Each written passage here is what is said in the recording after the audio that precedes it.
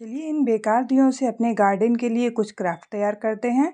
यहाँ पर मैंने वॉल पुट्टी ले ली है और वॉल पुट्टी में पानी डाल करके यहाँ पर मैंने एक पेस्ट बना करके इन दियों पे यहाँ पर मैंने भर दिया है। और यहाँ पर एक वेस्ट पेंसिल मैंने पर इसके ऊपर डाल दी है। जब ये ड्राई हो जाएगा तो हम इसको वाइट कलर से पहले कलर कर लेंगे। फिर आपको जो भी कलर पसंद है आप यहाँ पर रेड एंड ब्लू मैंने यहाँ पर कर दिया है। और ये कलर आप अपने मन के अनुसार कीजिए, आपको जो भी अच्छा लग रहा है।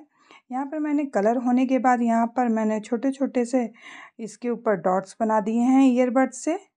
और ये हमारा मशरूम बन के तैयार हो गया, जो इजी और ब्यूटीफुल भी है और जो हमारे गार्डन को और भी खूबसूरत बना देगा।